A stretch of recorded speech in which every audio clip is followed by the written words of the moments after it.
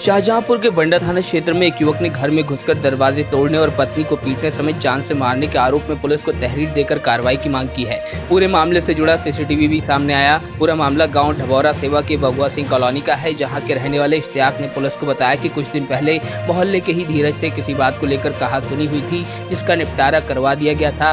आरोप है की होली पर रात करीब साढ़े आठ बजे युवक उसके दरवाजे पर आया और गालियाँ देकर दरवाजे पर लात मारकर उसे तोड़ने लगा। आरोप है की घर में घुसकर उसकी पत्नी पत्नी को लात घूसों से पीटा और जान से मारने की धमकी देकर चला गया। उधर पुलिस जाँच के बाद कार्रवाई की बात कह रही है।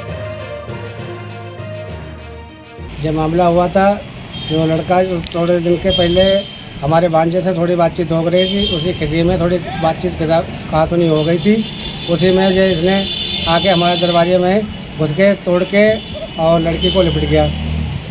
लड़की लिपटने के बाद में उसकी माँ ने बचाया तो उसके, उनके नाथा लग गए। हैं गले में लगे हाथ में लगी चोट चोट है।